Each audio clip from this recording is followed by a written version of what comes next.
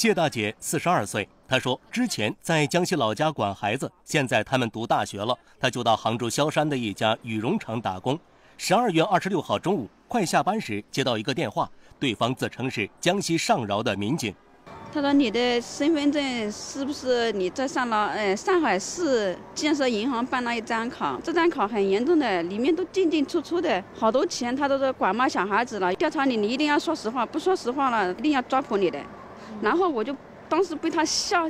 谢大姐说，一开始她也有点半信半疑，还在想对方会怎么调查。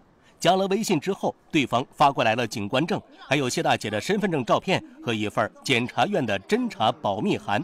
之后，对方要求谢大姐提供办理过的银行卡，说是要查一下交易记录。因为有三四张卡，因为我卡里都一一两百块钱，因为我刚买了房子，我我就没钱了。后来招商银行有一笔钱，我是存的是理财的，有个十六万，我都没跟他说的，我就是又有点怀疑，又又不想跟他说哈，他就说。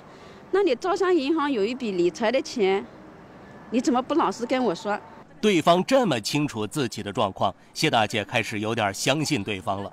这时，对方发过来一个链接，说是叫公安防护网，要下载一个软件，叫我点哪里我就点哪里了，密码输进去，全部都输好了，输好然后呢，他就就说那那也没事了，我给你调查清楚了。你不是说被骗了六万吗？招商银行那个笔理财的钱，他。教我怎么弄弄起来？嗯，贷款贷了十三万六。十三万六出来以后嘛，他通过支付宝转了五万块钱到失主萧山的农商银行卡里面，农商银行呢又转到一个骗子的一个账户里。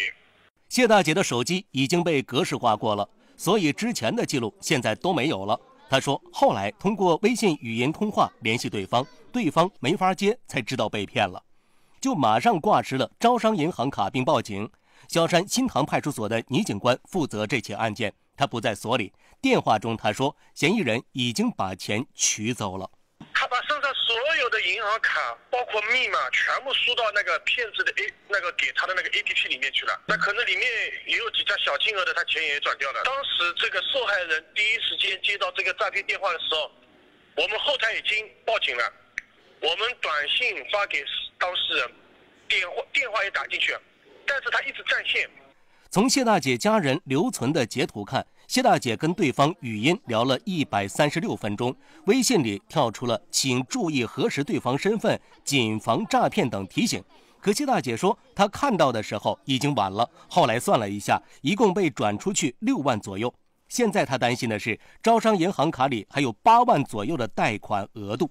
我去银行的时候，他就这样说：“我去帮你们解冻，可以在这里操作那个。”对方照片的人，他说知道你的密码了，万一这几八万都划过去了，他说这个风险要我自己承担。很有可能那个骗子给他的 APP 可能可能是个木马程序嘛，那可能远程可以操控的。那我我第一时间跟他说的，你银行所有的支取密码全部改掉。我招商银行有一张卡是住在警车上的时候，那个警察帮我冻结掉的。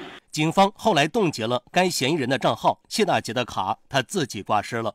此事目前已经立案。我们啊，因为他不是很懂这些支付宝这种转账的这种东西，银行跟支付宝包括微信啊不要绑定。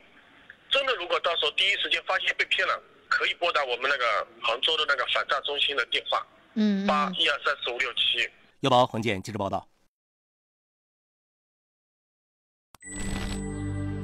关注幺八八黄金眼，看百态人间事。